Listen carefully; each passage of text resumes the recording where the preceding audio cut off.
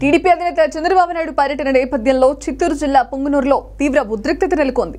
ప్రాజెక్టుల విధ్వంసంపై యుద్ధపేరి పర్యటనలో భాగంగా అంగళ్ళు నుంచి పొంగునూరు బయలుదేరిన చంద్రబాబు అని అడ్డుకునేందుకు వైసీపీ శ్రేణులు విశ్వ ప్రయత్నం చేశాయి. దీంతో టీడీపీ వైసీపీ శ్రేణుల మధ్య ఘర్షణ జరిగింది.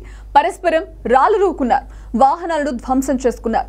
అడ్డుకోబోయిన పోలీసులపై కూడా రాళ్ళు రువ్వారు. పోలీసు వాహనాన్ని కూడా ధ్వంసం చేశారు. దీంతో ఆగ్రహించిన పోలీసులు లాఠీ చార్జ్ చేశారు. పరిస్థితిని అదుపు చేసేందుకు టియర్ గ్యాస్ కూడా ప్రయోగించారు. గాల్లోకి కాల్పులు కూడా జరిపారు. అయితే ఈ మొత్తం వ్యవహారంలో చిత్తూరు ఎస్పీ రిశాంత్ రెడ్డి వ్యవహారం వివాదాస్పదమవుతోంది.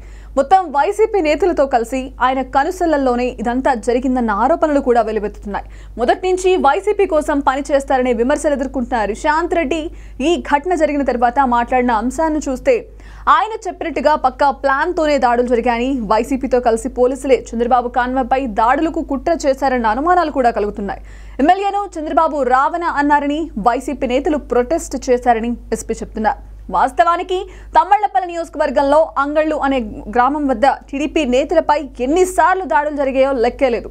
అలాంటి సున్నితమైన చోట రాళ్ళు రాడ్లు కర్రలతో వందల మంది కార్యకర్తలు చంద్రబాబు వచ్చే ముందు కూడా గుమికూడారు. దీనికి చిత్తూరు ఎస్పీ పెట్టిన పేరు నిరసన వ్యక్తం చేయడం అని చెప్పడం. చూస్తే ఆయన ఎవరి కోసం పనిచేస్తున్నారో స్పష్టమవుతోంది. అంగళ్ళలో చంద్రబాబుపై రాళ్ళదాడి నిరసనగా ఎస్పీ చెప్పడంపై విమర్శలు వస్తున్నాయి అంగళ్ళలో చంద్రబాబు ప్రసంగిస్తున్నప్పుడు రాళ్ళదాడి జరిగింది.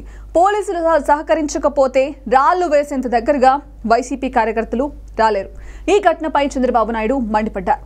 పోలీసులు చేతకాంతనంపై ఆగ్రహం వ్యక్తం చేశారు. ఇక లాభం లేదని చంద్రబాబు రాళ్ళు వేస్తున్న వైసీపీ కార్యకర్తల్ని తరమాలని పిలుపునిచ్చారు. చంద్రబాబు పిలుపుతో టీడీపీ కార్యకర్తలు వెంట పడడంతో పోలీసులు పరారయ్యారు. డీఎస్పీ వ్యవహార శైలిపై చంద్రబాబు తీవ్ర ఆగ్రహం వ్యక్తం చేశారు. వైసీపీ నేతలు రెచ్చగొట్టాలని దాడులు చేయాలనుకుంటున్న చోటే ఉద్రిక్తంగా మారుతోంది. ఇక పుంగునూరులో పోలీసులు ఈ కుట్రలో భాగమయ్యారు. అంగల నుంచి చంద్రబాబు పుంగునూరులోకి రాకుండా లారీలు బస్సులు వజ్ర వాహనాన్ని అడ్డం పెట్టారు. దీంతో టీడీపీ కార్యకర్తలు ఆగ్రహం తెచ్చుకున్నారు. ఇదే విషయాన్ని రిశాంత్ రెడ్డి చెప్తున్నారు. ఇక్కడ అక్కడ అర్థం పెడితే ఘర్షణలు సృష్టించవచ్చని ముందుగానే గుర్తించి పోలీసులు రబ్బర్ బుల్లెట్లు వజ్ర వాహనంతో వచ్చారు. టీడీపీ కార్యకర్తల్ని రెచ్చగొట్టారన్న అనుమానాలు కూడా వ్యక్తమవుతున్నాయి. రాజకీయ నాయకులకు కొమ్ము కాయడం కోసం ఎస్పీ రిశాంత్ రెడ్డి పోలీసుల్ని బలి చేస్తున్నారన్న ఆరోపణలు వస్తున్నాయి. దీంతో రిశాంత్ రెడ్డి వ్యవహారం హాట్ టాపిక్ అయింది. మహబూబ్ నగర్ జిల్లా కల్వకుర్తికి చెందిన రిశాంత్ రెడ్డి మొదట్లో సిన్సియర్గానే ఉండేవారు. సమాజంలో సివిల్ సర్వెంట్లు నిర్మాణాత్మక పాత్ర పోషిస్తారు కాబట్టి ఈ రంగాన్ని ఎంచుకున్నా అని చెప్పేవారు. బలవంతుడి నుంచి బలహీనుణ్ణి కాపాడడం గొప్ప విషయం.